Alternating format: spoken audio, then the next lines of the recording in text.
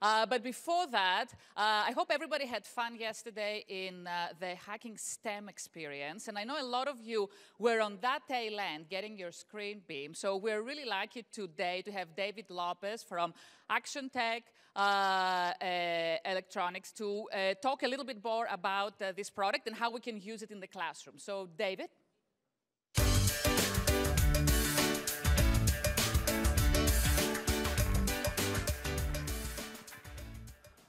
All right. Good morning, everybody. There we go. Good morning, everyone. Uh, I'm so excited. Hey, thank you. I'm waiting for my clock to come up because I want to make sure I get all the time. I've only got four minutes.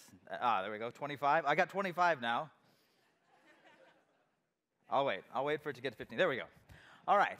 Uh, good morning, everyone. It's good to be here. Uh, so excited to get a chance to speak uh, with you. I'm actually a little sad, too, because uh, normally when I come to these events, I get to get to participate. And I didn't get to make a, a robotic hand yesterday, and I didn't get a really cool watch. Uh, so I'm really sad about that. But if it's, it's worth it, uh, if I get an opportunity to speak uh, with you today. So uh, what we're going to talk about, I'm going to get right into it, is the idea of classroom agility. And um, you know what? I'm just going to get this off here. What do you know? The idea of classroom agility right? And if you look, if you do a Bing search right now for classroom agility, nine out of the 10 responses that you'll get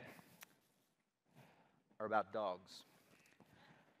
Now, as much as I would love to have a dog up here running through hoops and, you know, jumping over hurdles and things like that, I love dogs. I have a dog at home. I don't know that he would enjoy this, but uh, that's not what we're going to talk about today when it comes to classroom agility. So we have a chance right now to kind of define this topic, to define this subject through your tweets and all that stuff that you're doing. Uh, so let's define it right now. Let's give it a definition. The ability to quickly, to move quickly and easily in the classroom. The ability to think and understand quickly in the classroom. So that's a good definition. But as teachers, we want to know what that looks like, right? So we ask the question what does classroom agility look like?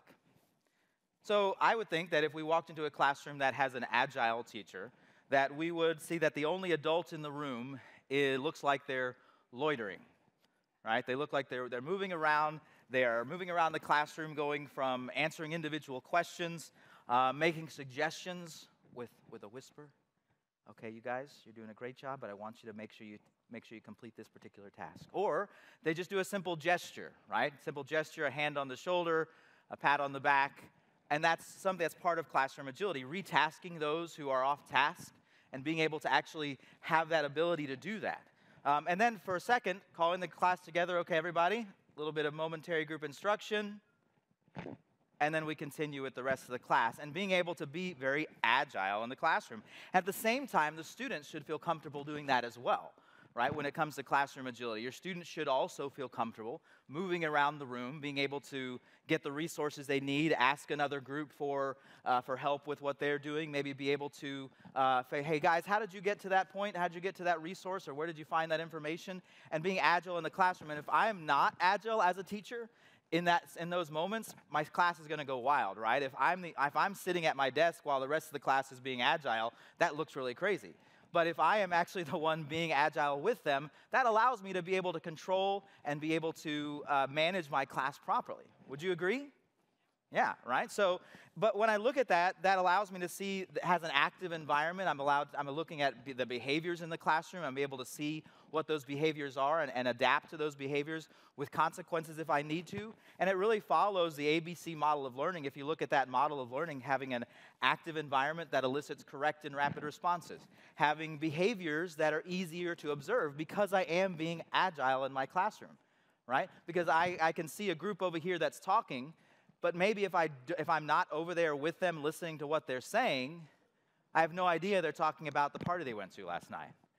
Right? So uh, being agile really helps me to be able to do that. And then when it comes to consequences, I can actually, uh, easier to develop those consequences, whether it's positive reinforcement or negative reinforcement. No, but, and, and different sorts of, of, um, of stimulus that I want to be able to, to do in my classroom, I can do that better because I am agile in my classroom. So the problem is, Does classroom agility stop when I'm using technology? A lot of times, absolutely yes, right?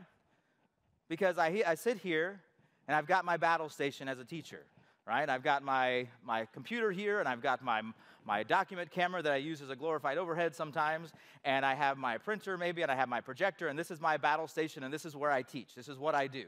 And, and I have my, I'm, I'm even doing my OneNote stuff here. I'm doing my inking. I'm doing all that stuff. But the problem is, I've absolutely stuck here in one place. Maybe I have an interactive whiteboard, and I'm up here writing on my interactive whiteboard. I've got the magic wand, and I'm up here doing all these great things, but I'm still stuck to the front of the room.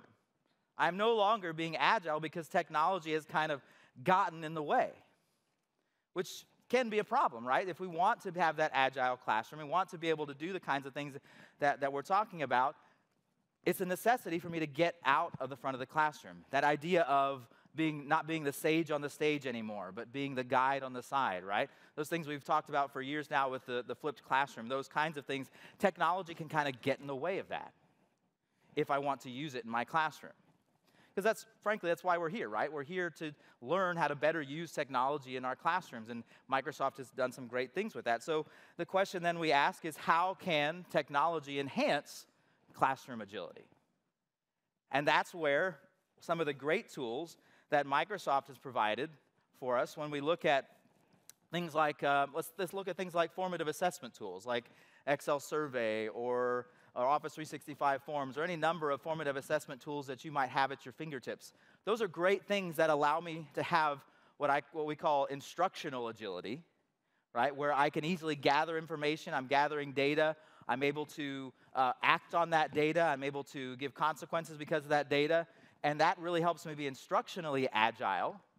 And Microsoft has done a fantastic job, and I've been, I've been fortunate enough to be a part of this program for uh, for several years now, and, and I, I talked with, uh, with Helen Gooch. You guys know Helen? A lot of you from the U.S. know Helen.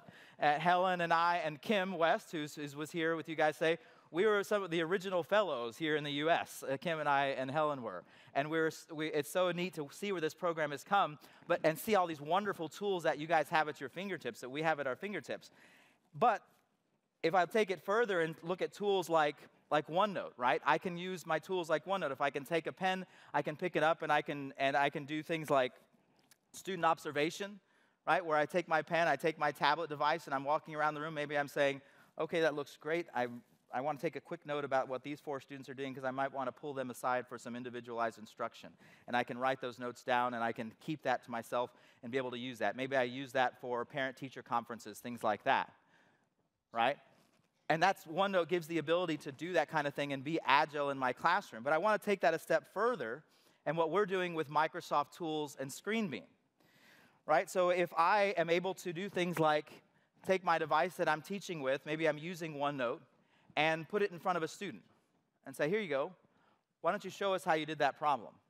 That allows me to do that because I'm allowed to show that and display in my classroom, right? And it's all being displayed wirelessly. And shame on you if you did not pick up a free device yesterday, I might give you another opportunity to get one at some point by the registration table after this.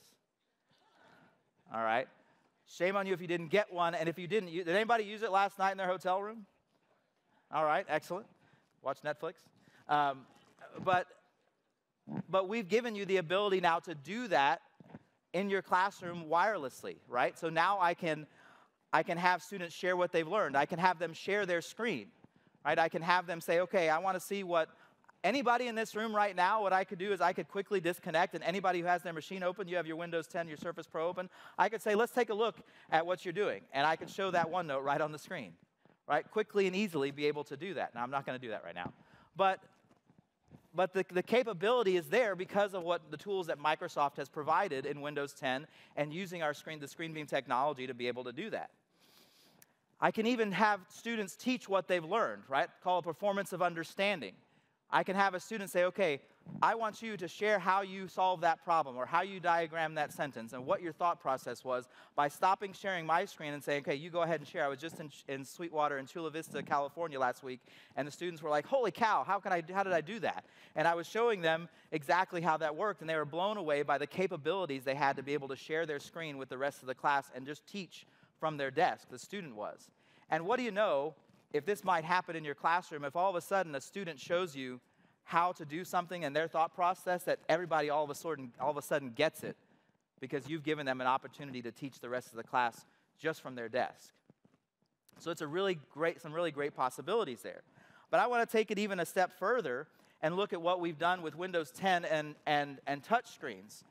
If you're looking at having a touch screen in your room or your school district has touch screens, normally to have a touch screen display, you have to have a USB cord connected to the touch screen right, in order for that to work, because the touchscreen is essentially a giant mouse. What we've done with the power of Windows 10 and something called UIBC, which is called User Input Back Channel, is allow you to take that USB cord and connect it to our ScreenBeam device. And now if a student is sharing their screen, you'll notice that right there, I could take my, my pen and go up to the touch screen, and I could actually write, start writing on that touch screen. Let's say I'm doing photosynthesis, H2O plus CO2 plus sunshine equals oxygen. And guess where all that inking shows up? Anybody? It shows up on the student screen. Holy cow, right? All that inking shows up on the student screen, so you're actually able to control that student screen. And actually, we were talking with some teachers from Canada. I was talking with, about John Hattie. Anybody heard of John Hattie and descriptive feedback? Right? The ability to do descriptive feedback right there in the front of your room, that is classroom agility, right? That's classroom agility to be able to do that quickly and easily. And if you haven't gotten it yet, if you haven't gotten it yet, classroom agility is formative assessment. Formative assessment is classroom agility. So, formative assessment is not an event on the calendar or an item on the syllabus. It should be a constant presence in the classroom. Would you agree? Yeah, it's a constant presence in the classroom. And if I am being agile in my classroom, not stuck at the front of the room, then I am being, I'm doing formative assessment, assessment constantly. Right? That's what I am doing and what I should be doing with this technology that I've been given. It kills me when I see this the stuff up here just stuck here and, and connected because I know what the power of this technology gives you, even with adults in the classroom, right? Even with adults in the classroom, I can do this. So technology and agility should be not separated like that, they should be together. So even if I look at the idea of classroom design, right, I have the ability to go from lecture mode up here, right? now I can do some proximity control, right? And I can continue with my instruction while I'm walking around, and all of a sudden, it's okay that she's on her phone, but I don't have to continue I don't have to stop my instruction, right? All I'm doing is doing proximity control and moving around the room. I can go to proximity control mode. I can say, hey, can you go ahead and advance that slide for me? And I can continue with my instruction without stopping. And then I can go to small, give me that. then I can go to small group work while controlling content for the class. Guess what? If you take a look at my screen, is it the same as what's up there right now? No, it's not because I'm in extended screen mode. So I could be watching a basketball game right now while doing this PowerPoint presentation. but I have the capability to be able to do that quickly and easily. I could be showing a PowerPoint while I'm using fluid math with my students at, a, at the kidney table, right? I could be doing all that because it doesn't matter where my desk is. I could just show a video from my desk, then I can go back to lecture mode. And guess what? Now it changes. Take a look at that. That's morph, by the way. Now all of a sudden it doesn't matter how my classroom is designed. I can move my desks however I want to. I can even go into a classroom of the round, get a little crazy. But it doesn't matter where my desk is, it doesn't matter where my computer is because Microsoft and Windows 10 and ScreenBeam have given you the capability to do that. So the last thing I'll have to say, you guys are here because you are ambassadors for what you are doing in your countries. Why did we give you devices yesterday? Why did we give you $20,000 worth of devices yesterday?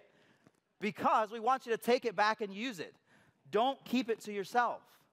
And you say to yourself, well, all the teachers that I work with, they only, uh, they only use PowerPoint, you know, and that's what they use. Well, you know what? Let's start with that. Guess what? If I'm walking around my classroom using PowerPoint, guess what happens all of a sudden if I'm doing that? Your ears, as a student, are now focusing in different places. Your eyes are moving around the room. Your neck is straining. Say, he's short. Why can't I see him? Right? Wondering out, wandering around, and you're all of a sudden there's physiological responses to you doing a PowerPoint presentation. That's a big deal. Right? So don't keep it to yourself.